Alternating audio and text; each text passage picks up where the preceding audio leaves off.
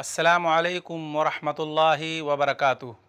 اللہ رب العالمین کے اسماء حسنہ میں سے ایک نام ہے الرب، پالنہار۔ مخلوق پر اس کی ربوبیت کی دو قسم ہے۔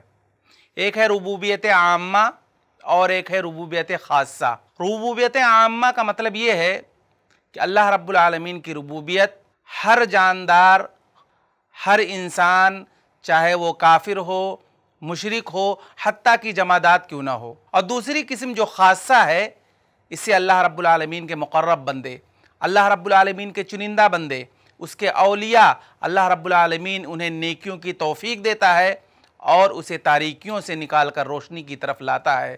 السلام علیکم ورحمۃ اللہ وبرکاتہ۔